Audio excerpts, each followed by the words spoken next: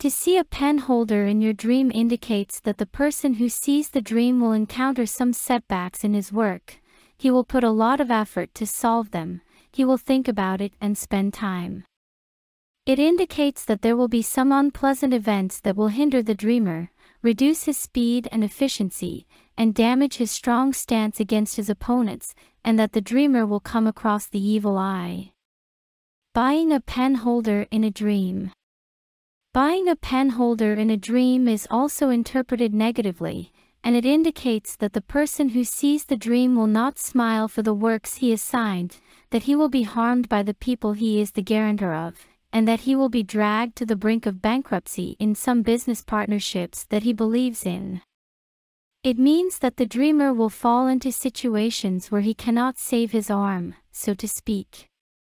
Seeing a pencil box in a dream. Although the pencil case and the pencil holder are the same thing in real life, they are handled differently in the dream. To see a pencil box in a dream means that the person who sees the dream will take part in some future projects, and if he proves his success once, he will encounter good offers in the business world. Buying a pencil case in a dream. It indicates that the person who sees the dream will encounter unexpected and pleasant surprises, and that despite having very modest dreams, he will experience positive developments that will look like miracles, and that he will believe more in the realization of dreams. Seeing a pen in a bag in a dream. It is rumored that the person who sees the dream has a desire to be a poet, writer, painter, or screenwriter, believes that he has a creative and artistic spirit, that he can express himself much more easily in this way.